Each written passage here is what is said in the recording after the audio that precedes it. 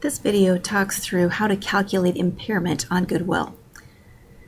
Why does goodwill sometimes get impaired? Well, goodwill is not amortized.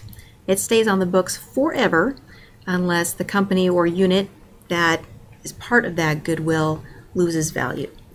And if the total fair value for the unit, and that means how much the unit can be sold for, is less than the amount of the on the books for that unit, then it's impaired.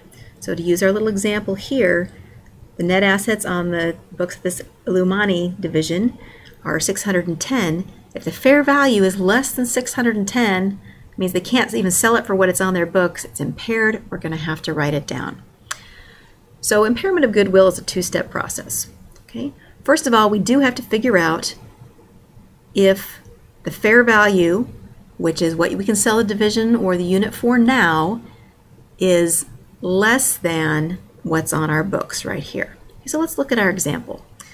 We've got Kyoto Corp here with an energy company, and one of its divisions is Illumin Illumoney, and it's trying to develop a new energy source using cold fish fusion, but so far things haven't been going so well. So they're saying, should we write down the value of this division?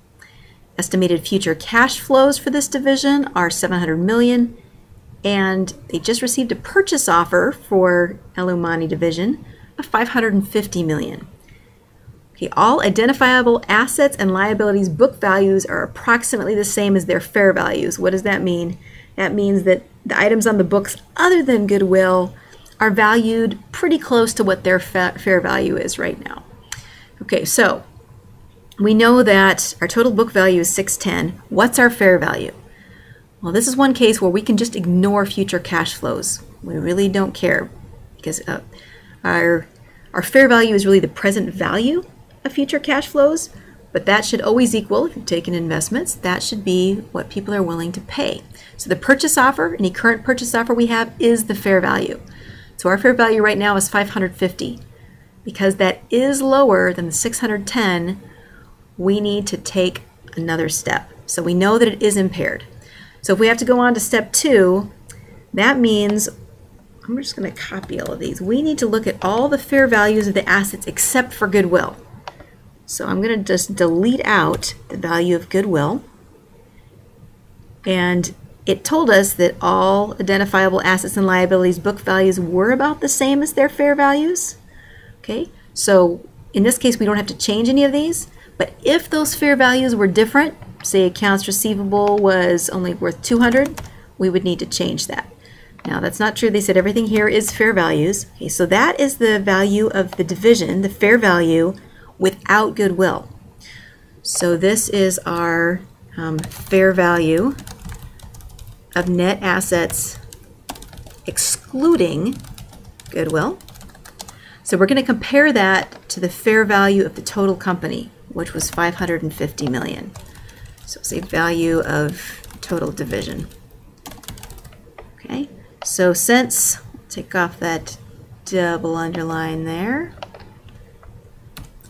We're going to compare now, okay, if this is our total fair value of the division, and that's the fair value of everything other than goodwill, then the difference between those two should be what our goodwill is at.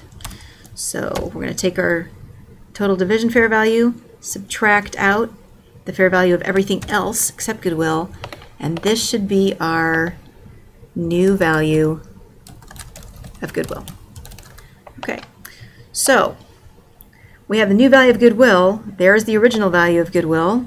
Clearly, it should be lower, so the, the difference between those two is the impairment. So we are going to need to write that down by 60,000. So we would simply reduce our goodwill by crediting it 60, well, I guess million dollars in this case, and debit or expense for an impairment loss on goodwill for 60.